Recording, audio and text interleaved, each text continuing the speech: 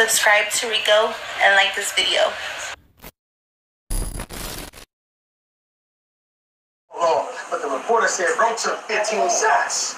Guess he a ball hog. Fuck all y'all. Cause no prince can keep you out of a cell. It's like a stream lock. Whole team.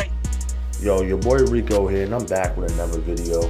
I'm here to give y'all a quick recap, man, of Rum Nitty and Gotti, man. I did a little video about a day or two ago. I thought that Gotti was going to take the battle 2-1. You could go back and look, and that's what happened for real, for real, man. But it was definitely a five battle, though. They was going back and forth, man. Rum Nitty, he go for real. A lot of bars, man, with the bar fest. Gotti came in with the Crip angle and the half west and the real talk mixed in with the bars and Rum Nitty, man, just back to back to back, man, just punching all night for real. Round one, I gave the Gotti. I feel like he came out a little better. His material hit a little harder. But round two, I gave the Rum Nitty. And round three, I gave the Gotti, man, for real, for real. But another quick recap, I ain't gonna hold y'all long. I'm about to be about this motherfucker. I'm out.